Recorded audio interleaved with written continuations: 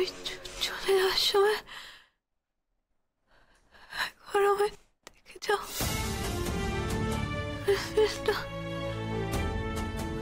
আমি জানি আমি জানি তুমি আমার রাগ করেছ তুমি বিশ্বাস করো বিশ্বাস করো আমি দিদির মধ্যে তোকে কোনোদিনও দেখিনি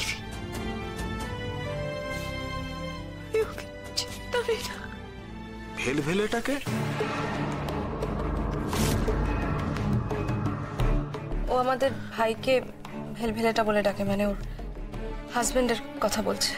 আই সি ওর হাজবেন্ডের সঙ্গে কি কোনো ভুল বোঝাবুঝি চলছে? বুঝতেই তো পারছেন দুজনেই ছেলে মানুষ। মানে ওদের মধ্যে যেরকম ভাব ভালোবাসা থাকবে সেরকম ঝগড়াও তো থাকবে। হয়তো সেসব নিয়ে মন কষাকষি কিছু একটা হয়েছে আর কি। সকালে ডক্টর সেন একটা কথা বলেছিল আপনাদের মনে আছে? বলেছিল? পেশেন্ট যদি রিজেকশনে চলে আসে তাহলে কিছু করার থাকে না। এখানে একই অবস্থা। তাই হচ্ছে ও কিছুতেই ফাইট করছে না বারবার স্যারেন্ডার করছে।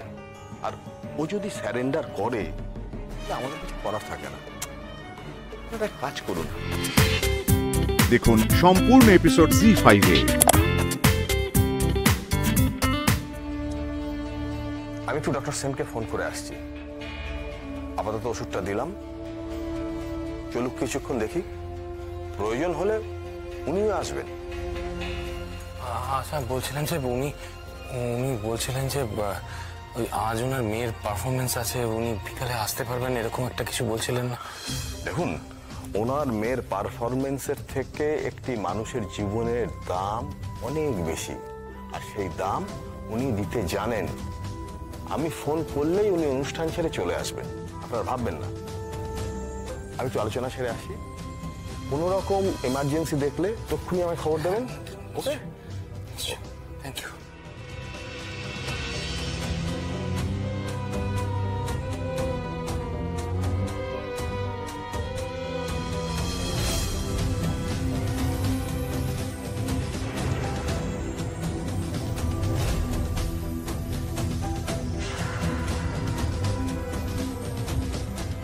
করে যে কন্ডিশনটা হঠাৎ করে এত খারাপ হয়ে গেল সেটাই তো বুঝতে পারছি না।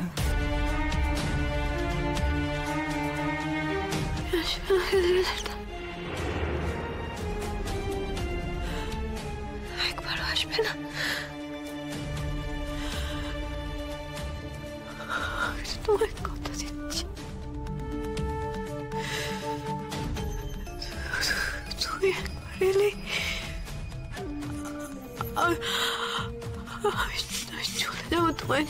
তোমায় ছেড়ে আর আর কোনোদিনও কোনোদিনও তুমি কো- কোথাও কোথাও আমায় খুঁজে পাবে না একবার এসে বেলবেল একবার একবার আমার কাছে এসো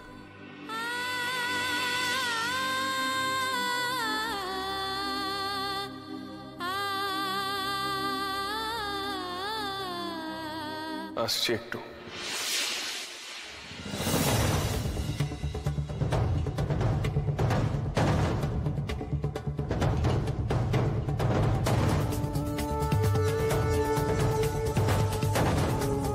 কি দেখতে এসছিস সাবির কেন ছোটন? কেন? ও তো ও তোর বউয়ের শেষ অবস্থা দেখতে এসেছে। রাঙাদি তোমার মুখে কি কোনো কন্ট্রোল নেই? এরপর থেকে একটু সামলে কথা বলবে। Shut up Abir shut up তোর মুখে না আর এই কথাগুলো মানায় না। মানায় না। তুই আমাদের সামনে কথা বলতে বলছিস? আমাদের?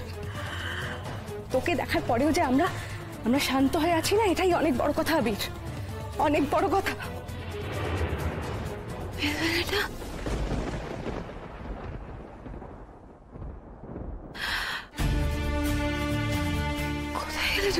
তুমি এসে দাঁড়ানো আমার কাছে। এলে আমি ঠিক বুঝতে পারব এটা। এই তো আমি এসেছি শালুক। এই তো আমি। আমি চলে এসেছি। না না তোমাকে আমরা এখানে অ্যালাউ করতে পারছি না। না। মানে? না। পারছি না মানে পারছি না। তুমি বাইরে থাকো। আমি পরে বলব।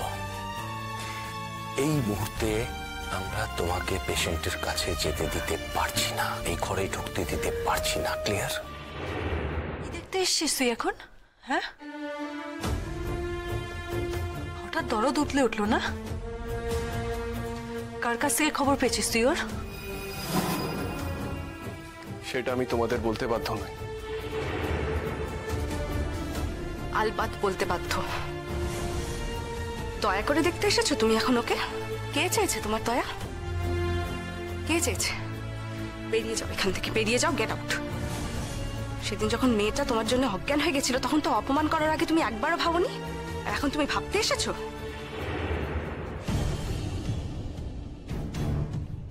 বড্ড বেশি ইউনিভার্সিটি লাইফ দেখাচ্ছিস না আমাদের? বড্ড বেশি বন্ধু বান্ধব হয়ে গেছে তোর। আমাদের না বলতে লজ্জা করে যে তুই আমাদের বাড়ির ছেলে। তাই জন্য তোকে আমি বারবার বলছি বারবার বলছি তুই এখান থেকে চলে যা। বারবার বলছি।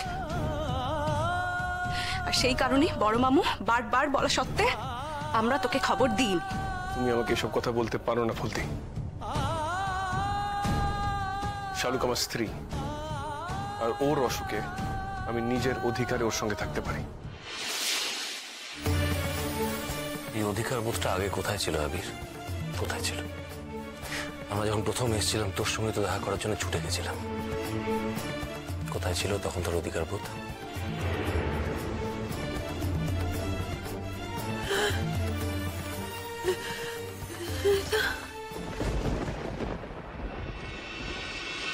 আমরা চাই না ওর সঙ্গে তোরা দেখা হোক। আমরা একদম চাই না।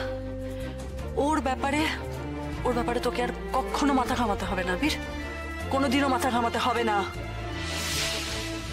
তুই এত কি করে বদলে যেতে পারলি আবির? আমি কিচ্ছু বদলাইনি। বিশ্বাস করো। আমি যদি বদলে যেতাম তাহলে কি আমি এখানে আসতাম? সেই কথাটা কি তুমি ভেবে দেখেছ? তুই কি উদ্ধার করে দিয়েছিস নাকি এসে? তাই তো মনে হচ্ছে।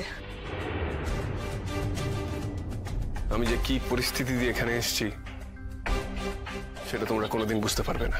যদি কোনো পরিস্থিতি তৈরি হয়েও থাকে সেটা তুই তৈরি করেছিস। সেটার জন্য তুই দায়ী। শালুক যে অসুস্থ এটা তো তোকে অনেকদিন আগেই জানানো হয়েছে। বাড়ি থেকে তো ফোন করে জানিয়েছিল তোকে। তখন তো তুই মনে করিস না যে তোর ওর পাশে থাকা উচিত তখন তো তুই ইগনোর করতে পেরেছিস তখন তুই এখনও পারবি। এখনও তোর এখানে কোনো দরকার নেই তাই তোকে বলছি তুই চলে যা এখান থেকে।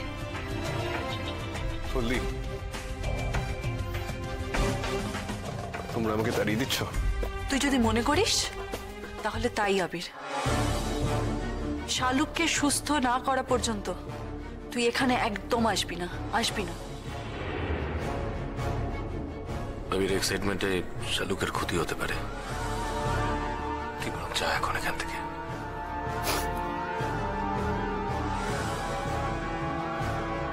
ও ছোট। তুমিও বলছো? আমি বলছি। মেডিকেল অ্যাসপেক্ট থেকে কথাটা বলছি। এখন যা। ফাইন আমি এখন চলে যাচ্ছি। কিন্তু আমি আবার আসব। আমিও আমার স্ত্রীর শরীর খারাপের সময় ওর সঙ্গে থাকতে পারি। বরঞ্চ বেশি থাকতে পারি। তাই আমি আবার আসব। শালুক,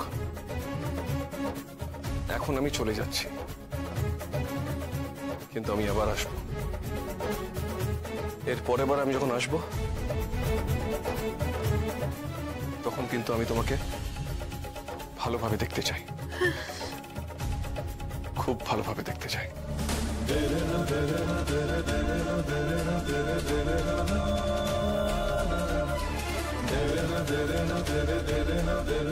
আসছি।